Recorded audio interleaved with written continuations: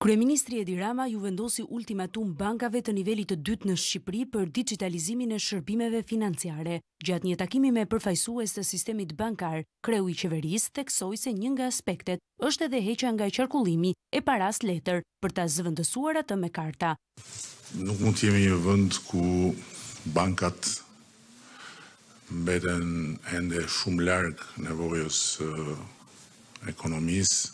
Edhe pagesat direkte janë në të shumtën e radhës e herës me metoda tradicionale. Është koha që të merremi vesh shumë qartë për këtë, se ne nuk mund ta pranojmë më këtë situatë.